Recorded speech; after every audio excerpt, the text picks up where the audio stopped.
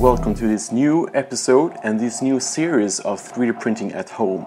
So in this series we'll be focusing on stuff that you actually need to print at home or that you could need to print. So we're going to do a bunch of models, a bunch of videos, a bunch of content and most of it can be downloaded from Thingiverse or Pinshape later. So uh, we'll do everything from bike lock uh, holders to dishwashing stands uh, to uh, wine uh, glass holders and to some drop filters and, and spill protection, uh, shower holders, um, bathtubs, uh, drainage, and everything like that. So we're going to do a bunch of stuff that's focused to be used at home. So if you have any friends or any uh, anyone that you need to convince why you need a 3D printer at home, hopefully this series will be your go-to source. So we'll we'll have a tons of different stuff to be able to replace things at home or improve stuff or just solve problems that occur at home where you might not even have a solution or the solution is just too annoying to search and to, to try to find and, and, uh, and buy.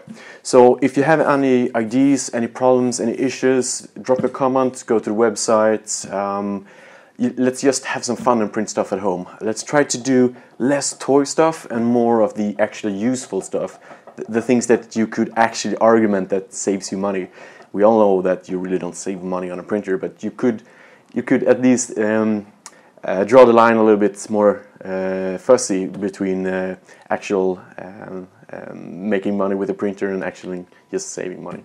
So hopefully you enjoyed this series. Uh, this will be the first episode. Let me know if there's anything you want to see more of, less. Do you think the videos are too long, too short?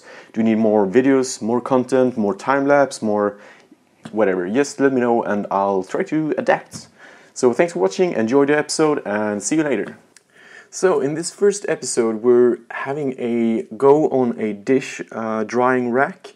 So at home, I always need to um, uh, to dry my uh, uh by hand, and I think that's really annoying. So I saw this great um, animal that was designed to hold your cutlery and let the water drain and so on. So I'm right now in 3D Studio Max. I'm using these symmetry tools with editable polygons.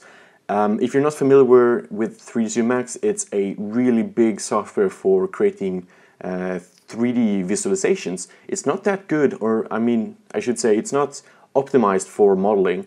But for me, polygon modeling is this, the easiest way to get something done. And in this case, I actually want to have the, the sharp edges. So instead of using a solid CAD tool like Fusion 360 or SolidWorks, uh, for me personally, I'm more comfortable with uh, working with these kinds of polygon modeling within 3D Studio Max. So I'm just drawing the shape here of the elephant. Um, I'm doing some modeling mistakes, but I'm, I'm just going for it.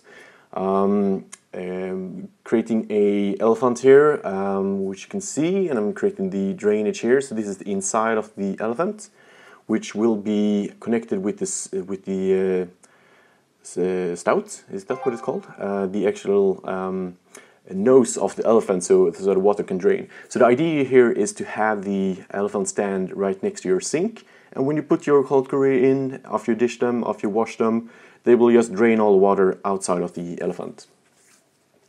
So let's just copy here, see if we're happy with the results. We're uh, welding all the edges.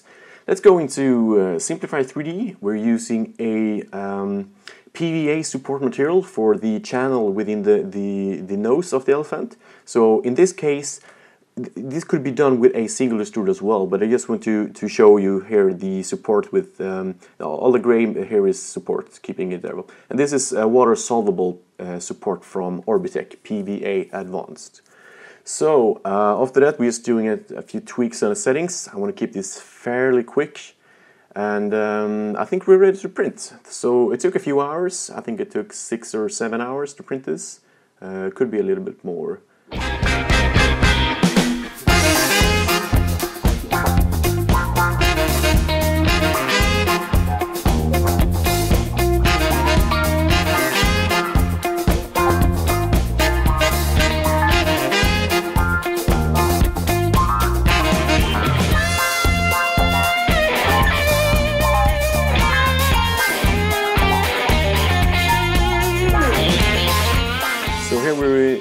Removing the first model, uh, it turns out that it's a little bit difficult.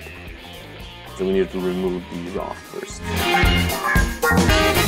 when all that is done, it's time to peel off the support material. Yes, it's solvable, but I mean, I can speed things up by just removing some of it by hand. It's actually really easy. Then fill up with some water, cold water is fine. Uh, put the model down and let it wait maybe overnight. In our case, we had a lot of support material and a small bowl, so we had to replace the water actually two times, I think. So here we're draining the um, model the day after. Um, and we realized that we need to, um, to clear coat it to make sure that it's really watertight. So here we're doing some, some drying with a fruit dryer and then of course starting to spray it with some clear coat. Uh, so this is your standard hobby clear coating. Uh, I think we did, on the outside we did quite easy, but on the inside we did excessively amount just to make sure that it's waterproof. And let's try that. And it works! It works really well!